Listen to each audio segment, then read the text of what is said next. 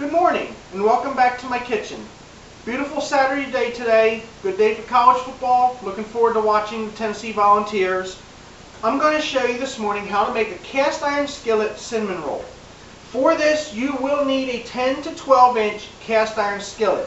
Recommending an old style cast iron that's well seasoned, you'll get a better crispy crust on the outside of the rolls. You can use a porcelain coated, enamel coated type but it won't be as crispy. Turns out the same, but just not as crispy on the outside. I'll go by step-by-step -step instructions how to assemble, baking, stuff like this.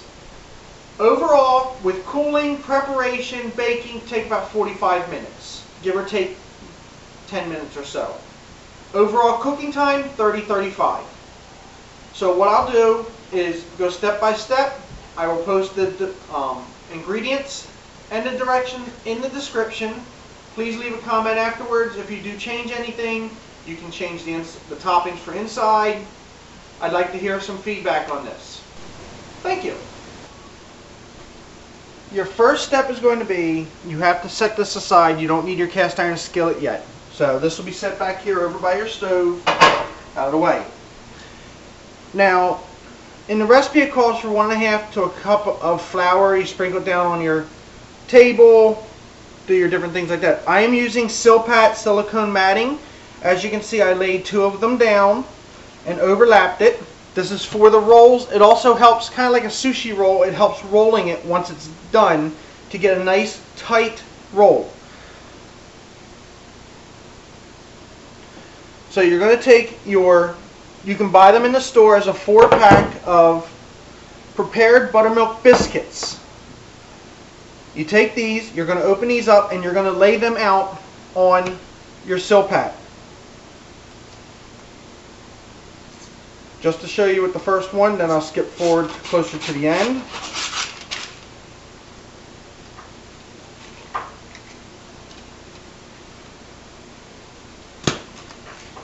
You take these, you're already preset.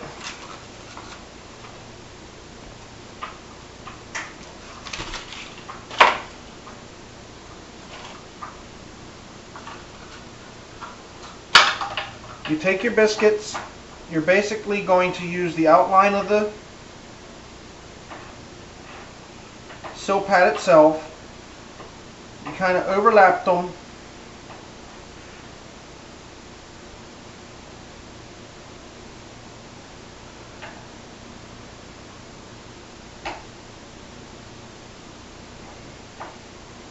You can leave the gaps in between, doesn't matter, it helps.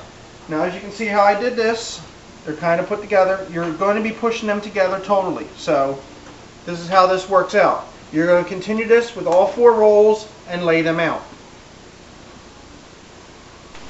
So as you can see, I've actually laid these out. So I'm getting down here to the last of the four packs. And as you can see, it does fill out the silicone matting nicely. Okay? Pat them down. If you use the frozen patties, let them sit like this for about 45 minutes to thaw. I take these right out of the right out of the refrigerator, pop them. They're still nice and cold, but they're still um, able to go along pretty good. Now what you're going to do is you're going to take these and you're going to kind of press them together to kind of fill in the center gaps between. So it's going to shorten them up a little. That's why I said don't worry about the gaps in there because it'll take care of it. Okay? Another good reason why to have the silicone matting, you don't have to keep adding flour to stop it from sticking to the countertop or your cutting board. So as you can see, this is going to be your layers, your flakiness, all part of your roll itself.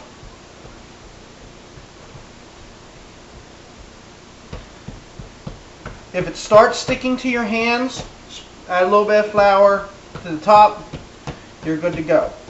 So as you can see, rolls, all the little holes between, if you get some like larger, you can actually pinch it to overlap, which helps. and then we'll move on to your next step. Using an electric mixer, take a mixing bowl, half a cup of butter or one stick, four tablespoons of pure maple syrup. Best if you have availability to get it from a maple grove itself, best you'll have. If not, go to the store, get the 100% pure maple syrup, not the stuff that you would put on your pancakes. This is a little bit more bitter. You're going to add this to this. Then you're going to take an electric mixer and you're going to mix them together until creamy.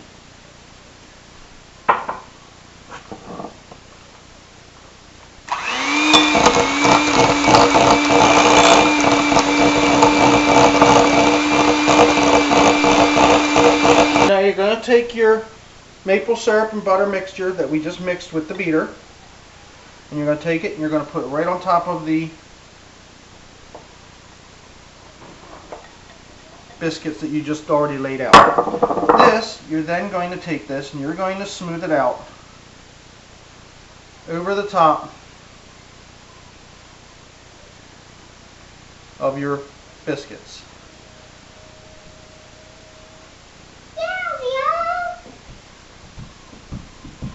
Don't worry about my children in the background. They're getting in, they're anticipating having cinnamon rolls because they know how much they like these.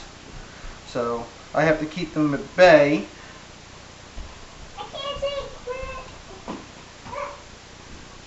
Every now and then you might have to ask, you might hear me saying to them, be quiet because I'm trying to do this, but it's okay, that's part of being a parent.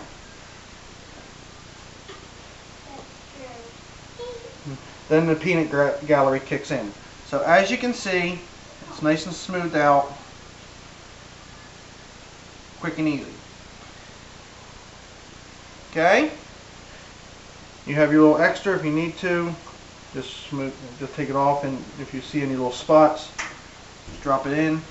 Boom, you're done. That can go in the sink dishwasher later. Now, from here, you're going to take a quarter cup of brown sugar, firmly packed. You're going to take this, you're going to sprinkle this over the top of your mixture. Doesn't have to be totally even because it's going to melt down.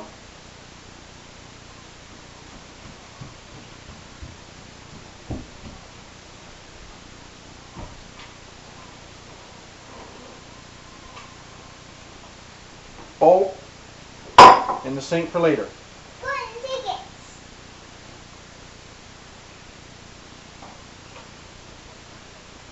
There's that. Now, Next one, if you want to measure it out, you can. I usually judge it by eye. You want one teaspoon of ground cinnamon. I usually use the sprinkle attachment. Just give it a good shake across. Sometimes a little bit more, sometimes a little bit less. Depends on how you shake it. all you do. Nice and easy. Quick, simple, out of the way. Now, your next step, we'll get in, I have to measure them out, is your either raisins, pecans, pistachios, walnuts, depending on what you want. We're going to, we're actually going to do pecan chips for this next step.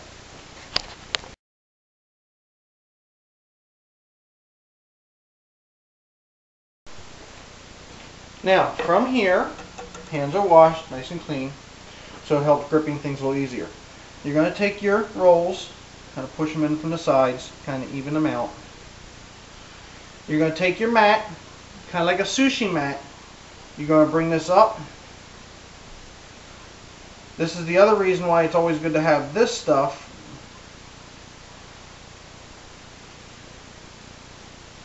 because the matting doesn't stick to the rolls.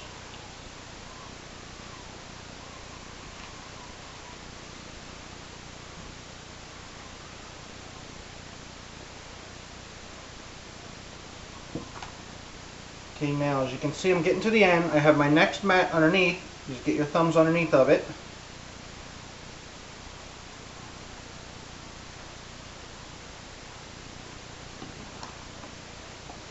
Pull this one out, toss it right over in your sink.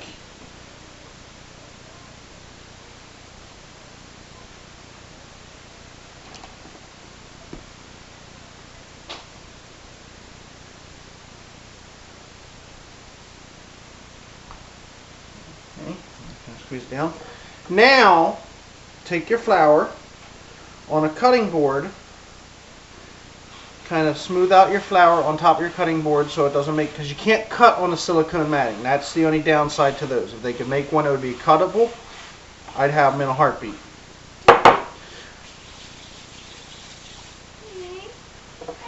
Okay. Now I'll redo the cameras and get this ready, get this over here to the cutting board. And that way you can see how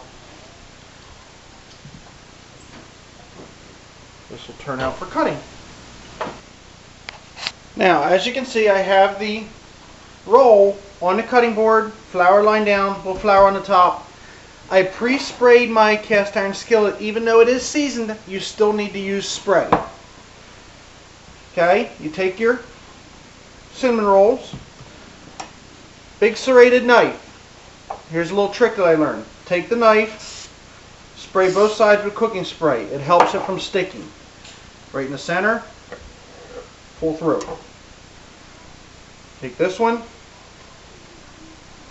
move it off to the side. You now have this.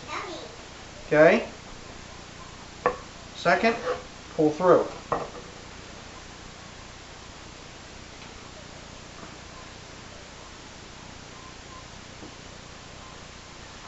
I always throw a little extra flour down with this and found out also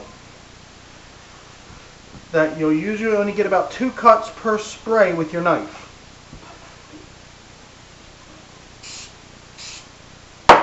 Okay, you make your second, your next cut. In that one it was a half, and this one it was a half.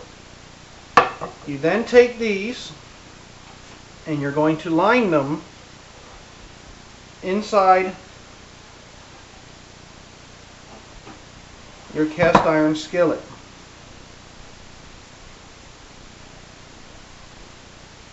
Okay, you want to do like, I'll show you as soon as I get this one starting to be cut.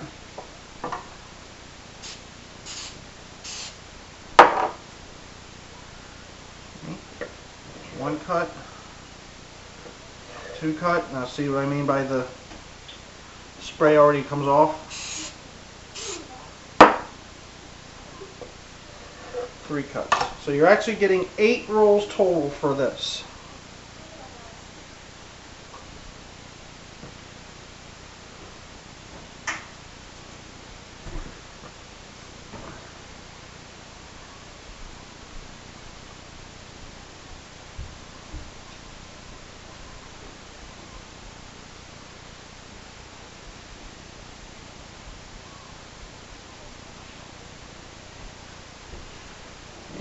And I will show you from there.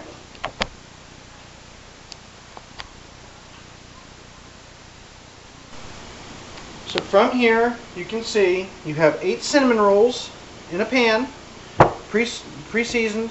you kind of just tap them down in. They will fill out and puff up, so you don't have to worry about that. You're taking these in a preheated oven, 375 degrees. You want your rack, middle set. Take these. I always start handle at the 9 o'clock position. 15, 20 minutes. After 15, 20 minutes, turn it to the other side to kind of help the convection of the cooking on both sides. So we'll set our timer. For 20 minutes and we'll come back from there.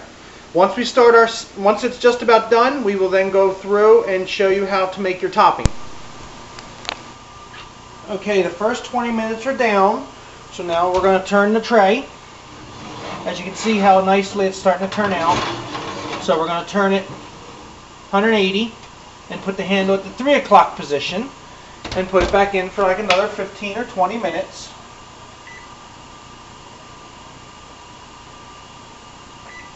We'll start the timer. And by then, when we got about five minutes or so to go, I will show you how to make the icing and everything else for the top of it.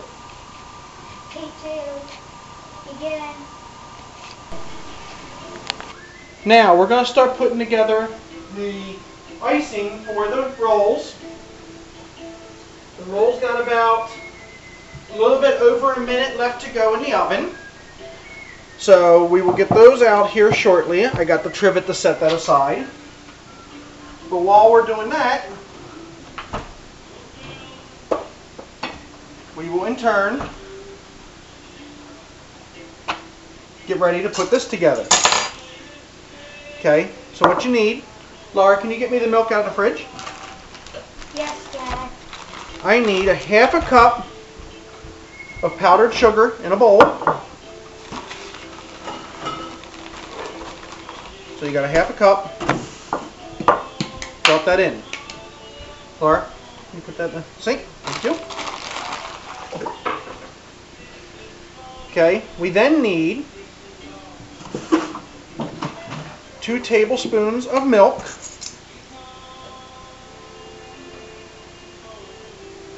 One. Two tablespoons of vitamin D milk.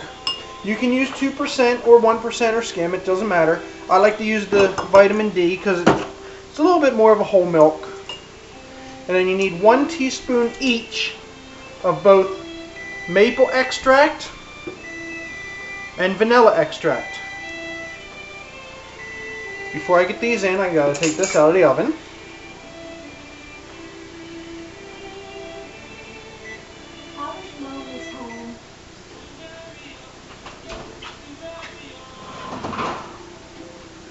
And then here's what they look like before the icings.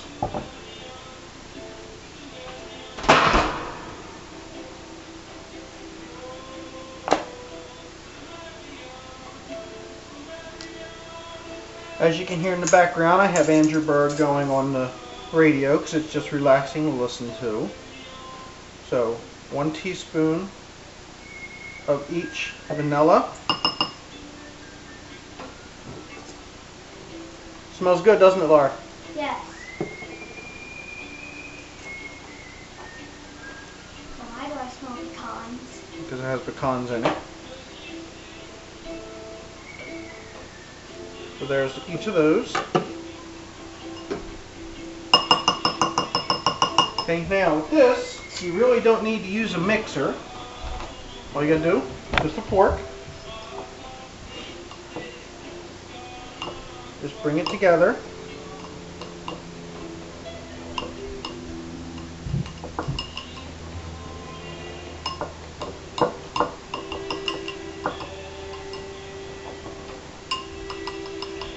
And you're doing this while this fresh out of the oven. Laura, can you look in the drawer for me? Push my hair. Just wait.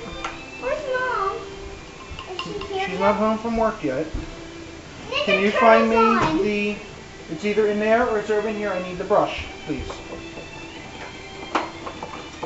It's probably in the drawer behind me.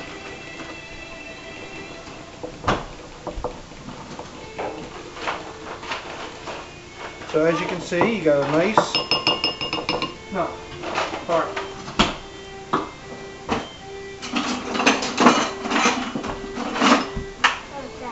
Yeah, this one. Laura, leave it alone, please. Put it down. Okay, so then what you do is you take this.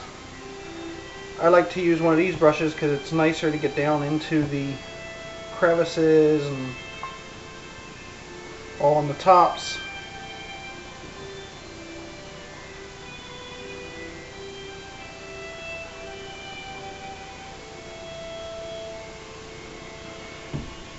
The song, in case you are interested, is by Andrew Bird. It's from his Cemetery Gates the Live special.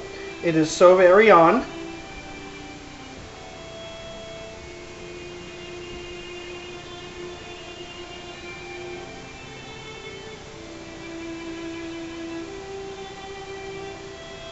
So as you can see, nothing really major with that. It's just a nice icing that with the heat of the rolls heats up nicely and it gets down all in through the inside. It's not overly powerful.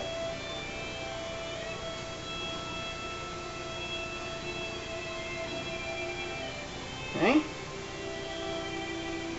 If you want to double it, you can, but you don't have to because it thin, it thins out from the heat.